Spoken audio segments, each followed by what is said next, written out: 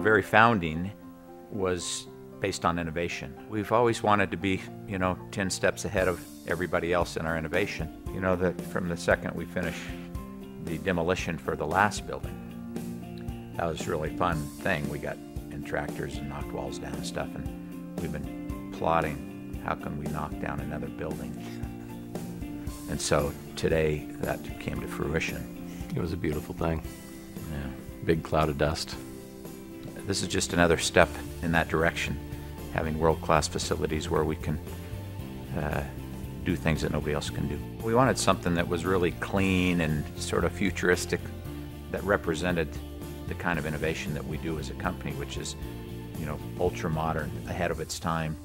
And we wanted the building to feel that way. We were able to acquire the street in between the two blocks, which will allow us to build a beautiful atrium that will allow people to come and go from the from both sides of the, the building without having to go out in weather. But not only that, be within this beautiful environment where they can meet and eat and greet and uh, where we can hold events and so forth. It's going to be a, a, a wonderful uh, place for us to create community. I've been impressed that Truman has been insistent all along the way that whatever we do, that it be a landmark that we build here. It was a much bigger number than we had anticipated. That's what surprised me about Truman. We found cheaper architects building cheaper buildings, but now he went for the most expensive one. That's the only odd question. All the rest of us loved it. Uh, but to have Truman say, yeah, let's go with the larger budget, there's something fishy. we wanted someone who had been involved in really cool projects like the Apple buildings. We've always liked the Apple computer buildings.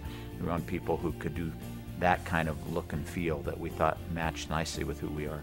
It's our hope that when distributors bring their contacts around the company to kick the tires and so forth, that this innovation center will reinforce the vision that they've already projected about who the company is. And that is an innovative, forward-looking uh, company that's building into the future rather than relying upon its past. And it's just going to be a delightful place for everybody to uh, get creative.